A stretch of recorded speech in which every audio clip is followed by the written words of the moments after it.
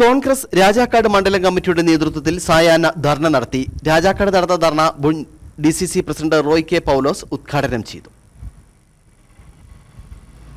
Mafia സംരക്ഷകനായ മുഖ്യമന്ത്രി രാജിവെക്കുക. രാഷ്ട്രീയ ലാഭത്തിനു വേണ്ടി Thrissur Pooram കലക്കിയ C P M B J P ഗൂഢാലോചനയെക്കുറിച്ച് judicial അന്വേഷണം നടത്തുക. ആഭ്യന്തര വകുപ്പിലെ ക്രിമിനൽ വൽക്കരണം അവസാനിപ്പിക്കുക. വിലക്കയറ്റം തടയുവാൻ സർക്കാർ പൊതുവിപണിയിൽ ഇടപെടുക തുടങ്ങി വിവിധ മുദ്രാവാക്യങ്ങൾ ഉയർത്തിയാണ് കോൺഗ്രസിന്റെ നേതൃത്വത്തിൽ സായാഹ്ന ധരണ സംഘടിപ്പിച്ചത്. കോൺഗ്രസ് രാജാക്കാട് മണ്ഡലം കമ്മിറ്റിയുടെ നേതൃത്വത്തിൽ നടന്ന സായാഹ്ന ധരണ മുൻ D president Roy K Paulose ഉദ്ഘാടനം ചെയ്തു.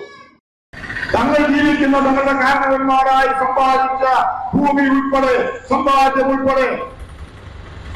നിയമവിരുദ്ധമായ നിയമവിധേയമല്ലാത്ത നിലപാടുകളിലൂടെ ഈ ഭൂമിയും അവരുടെ സമ്പത്തുകളുടെ സ്വത്തുമൊക്കെ ഏത് അവസരത്തിലും ഈ ഗവൺമെന്റിനെ കൈവശപ്പെടുത്താമെന്നുള്ള നിലയിലേക്ക് നിയമനിർമ്മാണം നടത്തി സർക്കാർ ഉത്തരവിറക്കിയ ആളുകളാണ് ഈ നാട് ഭരിച്ചുകൊണ്ടിരിക്കുന്നത്.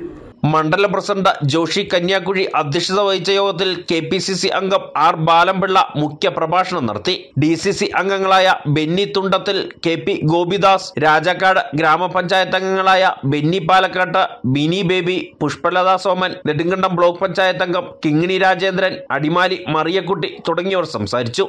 News bureau Rajakkad.